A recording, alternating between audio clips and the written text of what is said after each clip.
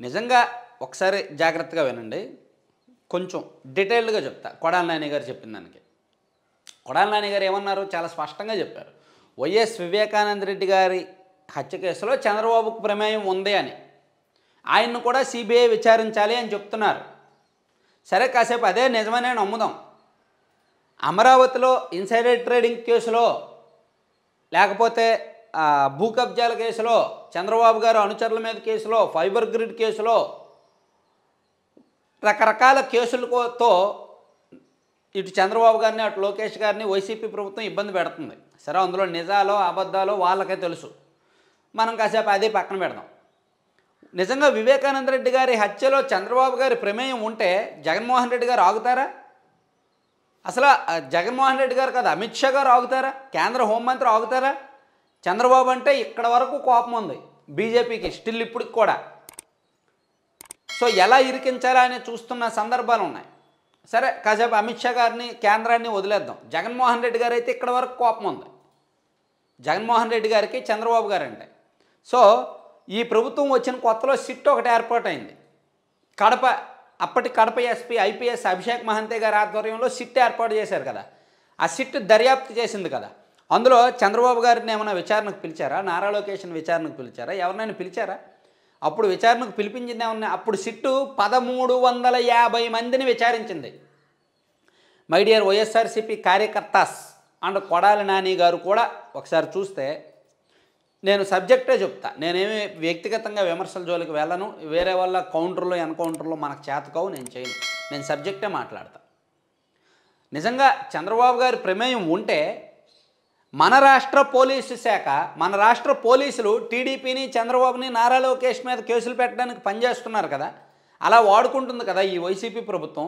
అలా వైఎస్ వివేకానంద రెడ్డి గారి హత్య కేసులో చంద్రబాబు ప్రమేయం ఉన్నట్టయితే రెండు వేల పంతొమ్మిది జూన్ నుంచి రెండు వేల పంతొమ్మిది అక్టోబర్ వరకు కూడా ఈ రాష్ట్ర ప్రభుత్వ ఆధ్వర్యంలో ఏర్పాటైన సిట్ వైఎస్ వివేకానంద రెడ్డి గారి మర్డర్ కేసులో ప్రమేయం ఉన్నవాళ్ళు సాక్షులు అనుమానితులు అందరినీ దాదాపుగా పదమూడు వందల యాభై మందిని విచారించింది కదా. అందులో పదమూడు వందల యాభై మందిలో టీడీపీ వాళ్ళు ఎవరైనా ఉన్నారా? చంద్రబాబు గారు ఉన్నారా? చంద్రబాబు గారు ఉన్నారంటారా? మరి ఏ రకంగా?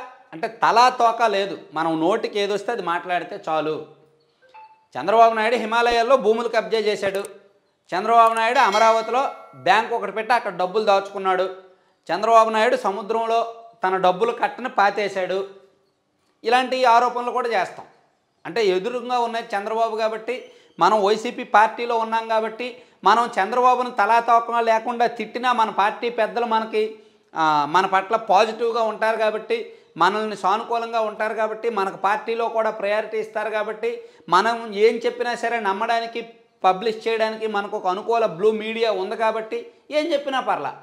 చంద్రబాబు నాయుడు సముద్రంలో భూములు దోచేశాడు చంద్రబాబు నాయుడు సముద్ర తీరంలో ఇసుకను అమ్ముకున్నాడు చంద్రబాబు నాయుడు అంతరిక్షంలో భూములు కబ్జా చేశాడు చంద్రబాబు నాయుడు హిమాలయాల్లో బ్యాంకు పెట్టి డబ్బులు అక్కడ దాచుకున్నాడు. ఇలాంటి ఏమైనా చేయొచ్చు. చంద్రబాబు నాయుడు లక్ష మందిని చంపేశాడు. ఇలా ఏమైనా చేయొచ్చు. ఎందుకంటే అవన్నీ కూడా ఆరోపణలు విమర్శలు కాబట్టి జనం నమ్ముతారా లేదా అనేది సంబంధం లేదు. చంద్రబాబుని తిడితే మనకు వైసీపీలో ప్రయారిటీ వస్తుంది. మనకు వైసీపీలో జగన్మోహన్ రెడ్డి గారు మన పట్ల పాజిటివ్గా ఉంటారు. మనకు మార్కులు వేస్తారు. ఆ, ఈరోజు ఈయన తిట్టాడా? ఈరోజు ఈయనకి ఇన్ని మార్కులు వేయండి అని మార్కులు వేస్తారు. చంద్రబాబుని టీడీపీని నారా లోకేష్ గారిని ఎంత తిడితే అన్ని మార్కులు పెద్దల దగ్గర. సో ఆ మార్కుల కోసం తప్పదు ఇలా మాట్లాడాలి.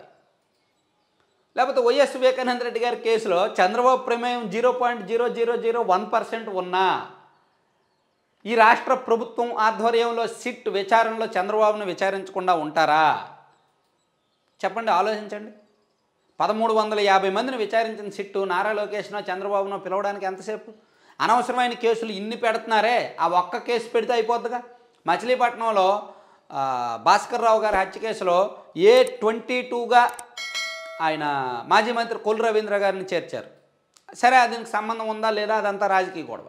మరి ఇక్కడ ఈ వివేకానంద రెడ్డి గారి హత్య కేసులో కూడా చంద్రబాబుని ఏ ట్వంటీ ఫైవ్ గానో ఏ థర్టీ గానో లేదా ఏ వన్ గానో చేర్చేసద్దుగా ఈ సిట్టు. కానీ ఎందుకు సిట్టు దర్యాప్తు ఆపేసింది?